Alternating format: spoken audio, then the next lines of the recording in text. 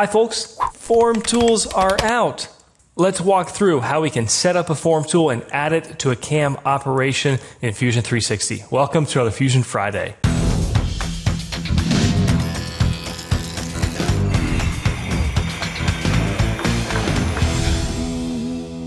We've got our Picatinny rail.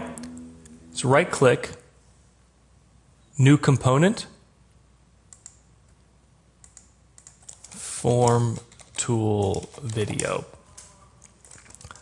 L for line. I'm going to sketch on this front plane right here.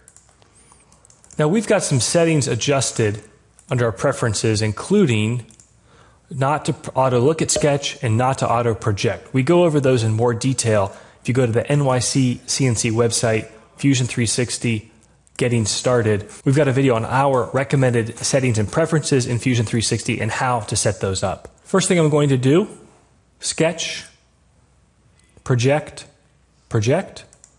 And I'm going to project in this whole face of the Picatinny rail. And then L on your keyboard And let's sketch a line over to here, over to here, here, and we'll come down and intersect right there. Now that's the rough shape of the form tool, you hope. Whole other conversation about making sure the form tool that you purchase matches the CAD model you're trying to make. The AB Tools tool gives us these dimensions, so we can also model it this way. And as someone who used to be in the business of making a product that was based on Picatinny rails, I'll tell you there's a huge amount of variation, and obviously the cutter is what's creating the cut here. So that's probably the better way to do it, but this will get us a quick and dirty showing you how you can make a form tool of whatever shape you want to do. So I want to fix it. I know that the AB Tools tool is 0.605 diameter of the whole tool. We're modeling on the radius. So I'm going to click this bottom line and type 0.605 divided by 2. I want this to be a straight shank, so I'm going to hit horizontal vertical of that. Overall tool length is 2 inches. And so we've now got this full shape it probably is okay to leave it as is, but I'm going to get rid of some of this other purple projections that I don't think we need. If I left click drag about to here and let up, it only selects the things that I fully enclose with my box like so. But if I right click drag, and what I mean by that is I start the box here and go from right to left and let up, it's going to pick everything that that box even touched. So now I can hit the delete key and what's nice is I'm only left with the purple stuff that I wanted. Purple is Fusion's way of saying it's projected geometry, meaning it inherited that shape from the solid model that, that we projected it off of. Just to give you a better view, if I hide our Picatinny rail, you can see it's got that perfect shape. Stop sketch. We're almost done, which is pretty cool. Before we hop into CAM, let's check that light bulb to make sure that we have that sketch visible. It's one of the rare times in Fusion where I want to leave a sketch turned on. So let's now hop into CAM and we're going to go to Manage Form Mill. So this clearly is new, needs some work, but we should be able to get it going here.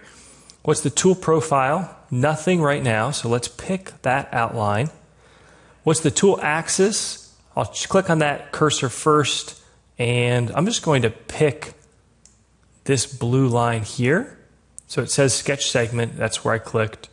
Compensation point, I'm going to pick the center of the tool, which is actually here, because remember, we're doing a revolve. We're actually not doing it, but Fusion is. So that is the center of the tool. Now, I mentioned it needs work because Fusion is usually does such a good job of, sh- of showing you what's happened and what's happening. And here, I don't really know what I picked. I can't easily view it or f- say flip an axis, or I don't understand why I would have to pick this. But we kind of take a leap of faith, click OK. And the good news is it didn't give us an error. When we were experimenting with this, we did get a few errors. So all I can say is follow that workflow that we just did there. Now we'll do a new setup relative size box with no additional. So we've got our material there. Click OK. Now at this point, I can turn off the visibility of that sketch. I shouldn't need it. So I'm going to turn that off.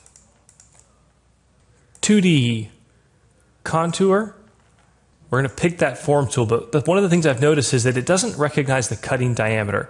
So let's right click, edit tool. It seems to require millimeters, but whenever we switched it to inches, we got some pretty big errors and scaling mistakes. So this tool is 15.367 millimeters. Click OK.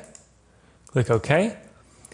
Under geometry, in order to pick our contour, I don't want to select Oops, got a, a setup issue here. Hold on, folks. I got to reorient my Z. There we go. So I don't want to pick the whole rectangle. I just want to walk around this front edge.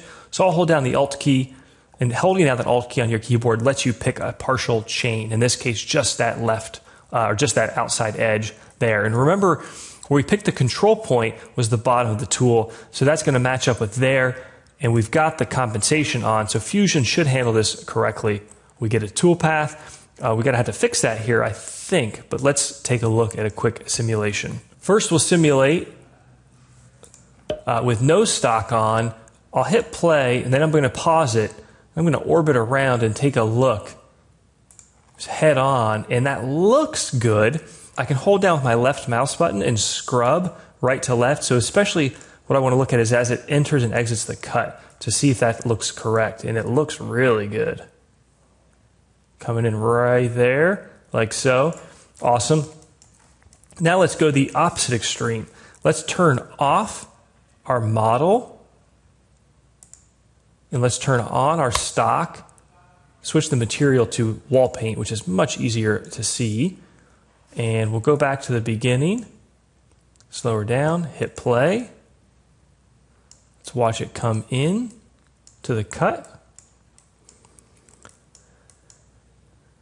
Okay, looks good.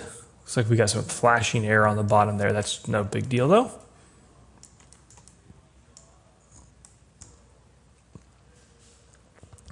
Awesome. So what would I do to improve that toolpath? I'd want it to lead in a little bit more. So right click, edit.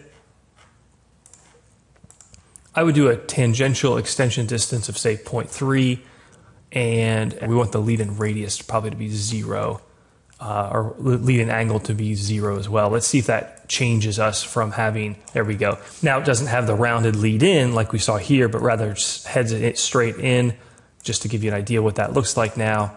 We'll go back to a simulation, no stock. It's just going to come straight down and walk across that part. I would certainly do this, most likely do this in two widths of cut. I don't know. I haven't. Uh, I've not, I don't own one of the AB tools, but it'd be fun to buy one and try it. But more importantly, we've got Form Tools working. I'm sure there's more to come. I give Autodesk a lot of credit. Uh, they get some criticism as well for releasing stuff like this earlier on in the development stage. But the reality is, letting us play with it and use it and experiment and break it and succeed with it is a really critical part of getting a really good product put out there. So be careful with it. Definitely run simulations. Definitely be careful when you're at the machine. But uh, awesome stuff. Thank you. I know this is a super popular request. And let's go make some parts, folks. Take care. See you soon.